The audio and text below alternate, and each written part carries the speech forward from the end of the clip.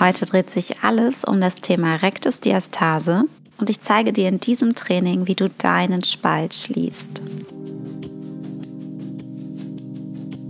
Wir trainieren unseren Korsettmuskel, der liegt wie ein Band um unsere Taille, unsere obere und untere seitliche Bauchmuskulatur. Die geraden Bauchmuskeln lassen wir noch komplett aus.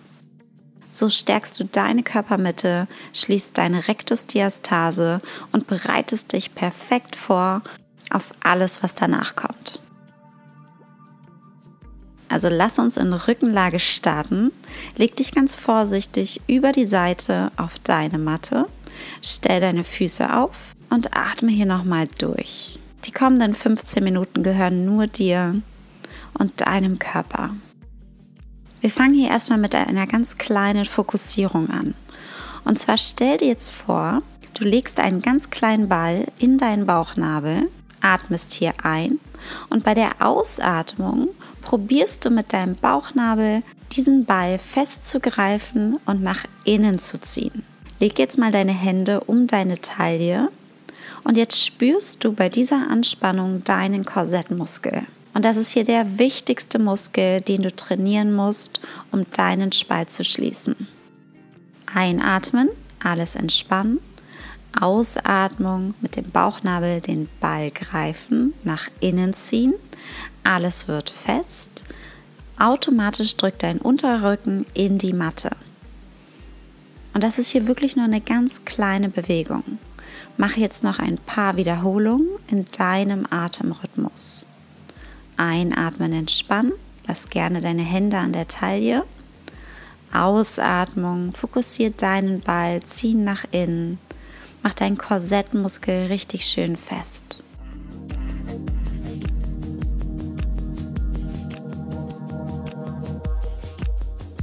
Und jetzt gehen wir hier einen Schritt weiter und nehmen noch deine untere seitliche Bauchmuskulatur mit rein. Einatmen, alles entspannen. Ausatmung, Korsettmuskel anspannen, Körpermitte ist fest. Und jetzt zieh dein linkes Knie zu dir ran. Hebst also dein Bein angewinkelt. Einatmung, Fuß wieder abstellen, alles entspannen. Ausatmung, aktivieren, anspannen, rechtes Knie ranziehen. Sehr gut. Und in deinem Atemrhythmus gönnst du dir jetzt hier noch ein paar Wiederholungen.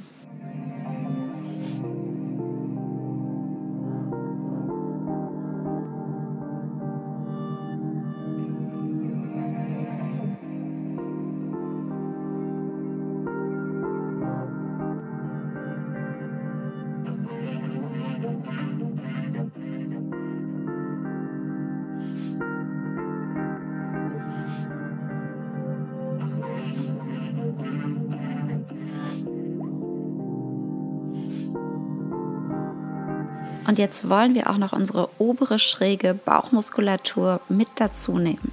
Bleib hier einfach in Rückenlage, atme ein und bei der Ausatmung aktivierst du jetzt alles, spannst alles an, Anspannung halten. Bei der Ausatmung ziehst du dein linkes Knie zu dir und deine rechte Schulter strebt jetzt dazu. Also aktivierst hier deinen oberen rechten seitlichen Bauchmuskel. Einatmung lösen, Körpermitte bleibt aber fest. Ausatmung, rechtes Knie heben und linke Schulter strebt zum rechten Knie. Und wenn du jetzt noch ein bisschen mehr willst, heb zur Schulter noch ein bisschen deinen Kopf. Und genau so gönnst du dir jetzt in deinem Atemrhythmus noch ein paar Wiederholungen.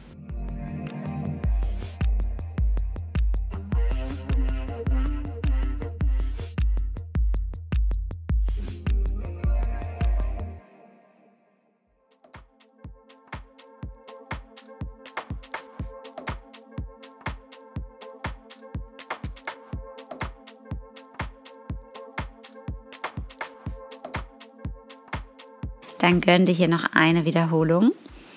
Wir bleiben in Rückenlage. Deine Körpermitte bleibt fest. Korsettmuskel ist aktiviert, angespannt. Bauchnabel zieht nach innen. Unterer Rücken presst in die Matte.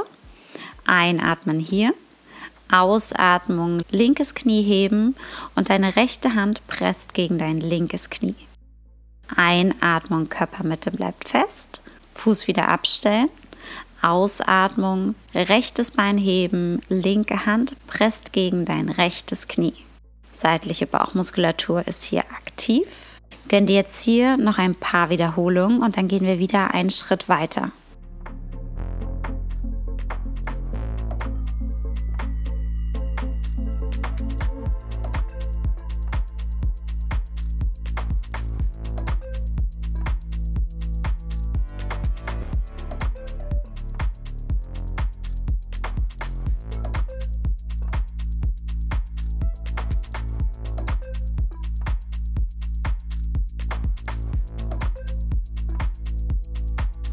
Atme nochmal durch.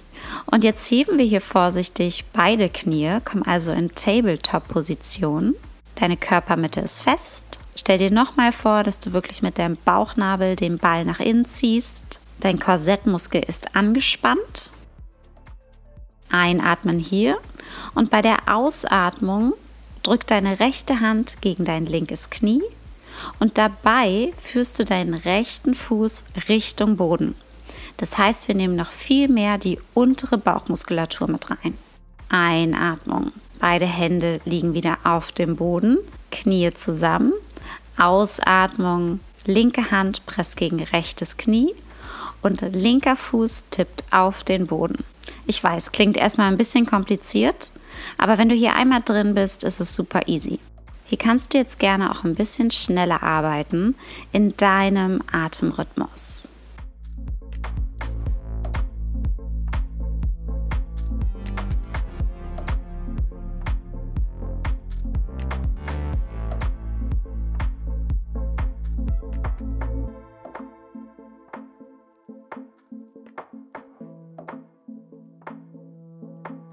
Dann gönn dir hier noch zwei Wiederholungen.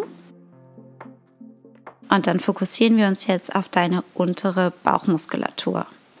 Stell deine Füße auf, aktiviere deine Körpermitte, spann deinen Korsettmuskel an, der Bauchnabel zieht nach innen, unterer Rücken presst in die Matte, leg deine Hände entspannt auf. Einatmen hier, Ausatmung, slide mit deinem linken Fuß nach vorne, leg dein Bein kurz ab und dann zieh es wieder ran. Einatmen hier.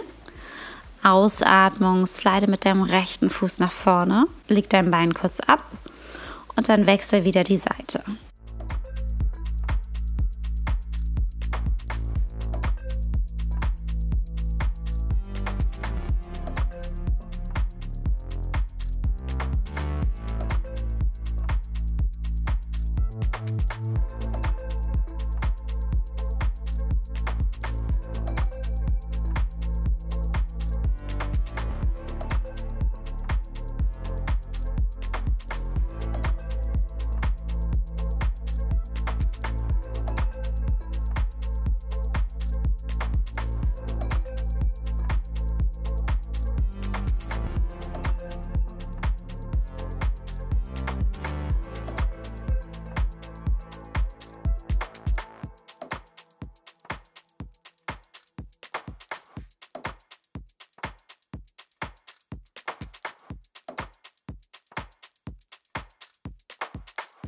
Und dann gehen wir hier noch einen Schritt weiter. Stell deine Füße auf. Atme ein hier. Und bei der Ausatmung zieh deine Hüfte nach oben. Deine Hände pressen neben dir in den Boden. Aktiviere hier deine Körpermitte. Wir trainieren jetzt gleichzeitig auch noch unsere untere Rückenmuskulatur. Und wir machen jetzt in dieser Bridge-Position weiter mit unseren Heel Slides. Das heißt, Körpermitte ist fest und abwechselnd slidest du vorsichtig mit einem Fuß nach vorne.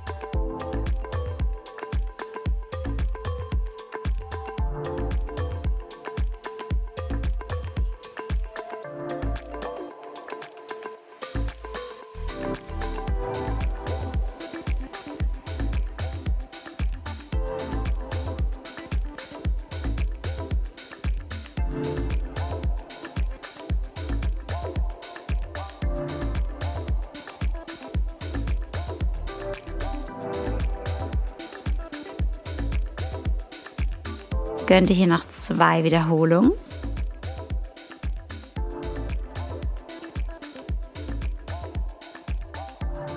Und dann halte nochmal oben. Hüfte strebt Richtung Decke. Deine Körpermitte ist fest. Und jetzt hebst du deine Arme, hältst hier und atmest. Alles ist aktiv.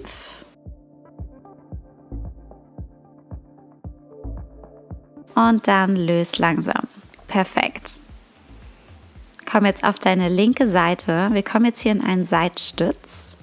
Stell deinen rechten Fuß nach vorne ab Positionier deine linke Schulter direkt über deinem linken Ellenbogen und drück dich dann nach oben. Aktiviere hier deine Körpermitte. Dein Korsettmuskel ist fest und wir trainieren jetzt deine linke seitliche Bauchmuskulatur. Entweder hältst du nur hier oder bei jeder Einatmung kommst du mit der Hüfte Richtung Matte. Ausatmung, Hüfte strebt vorsichtig nach oben. Einatmung absenken, Ausatmung, Hüfte nach oben ziehen. Gönn dir hier in deinem Atemrhythmus ein paar kraftvolle Wiederholungen.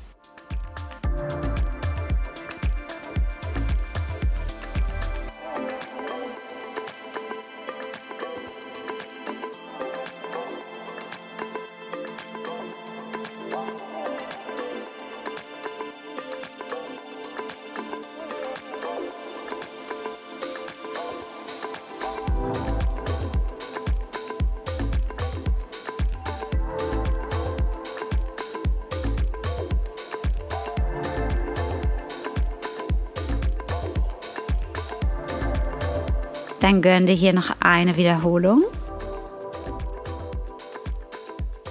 Und dann wechseln wir einfach nur die Seite. Stell deinen linken Fuß nach vorne ab.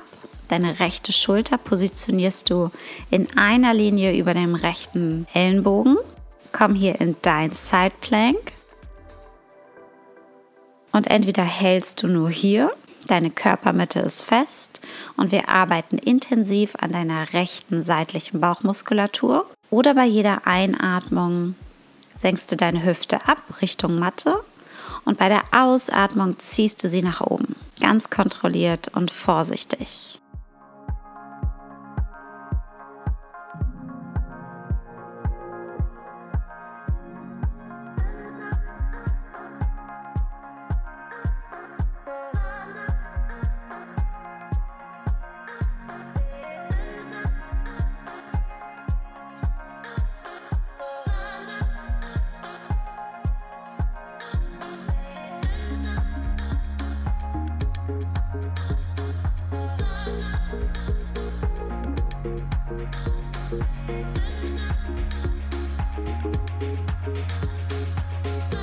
Dann gönn dir hier noch eine Wiederholung.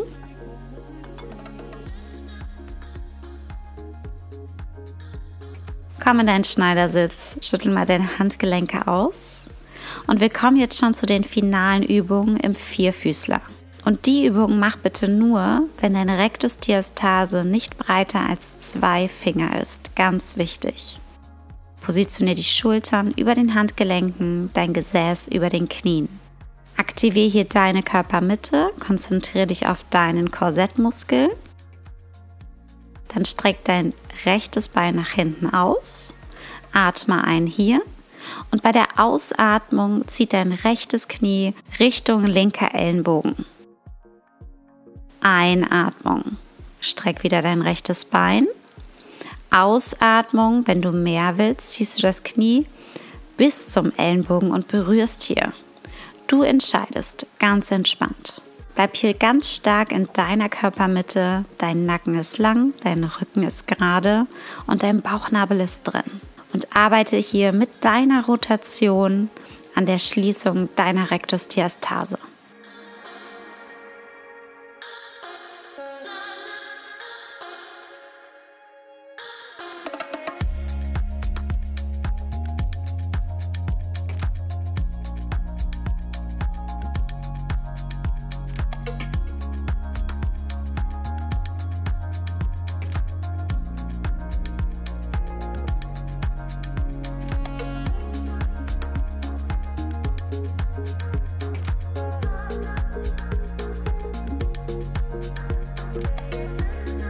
Dann gönn dir hier noch eine Wiederholung.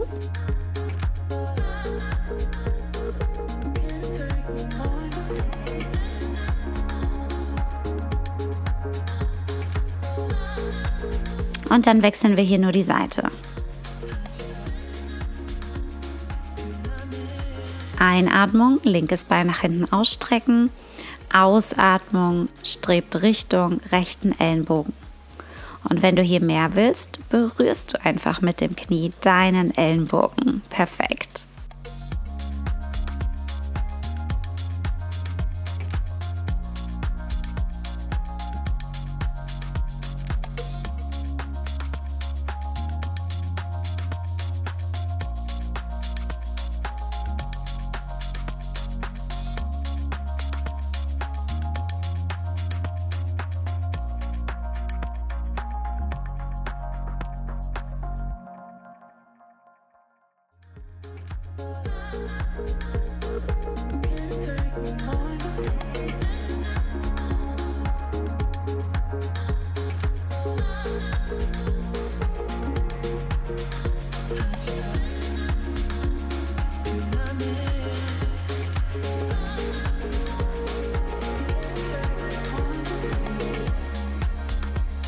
Dann gönn dir hier noch eine Wiederholung.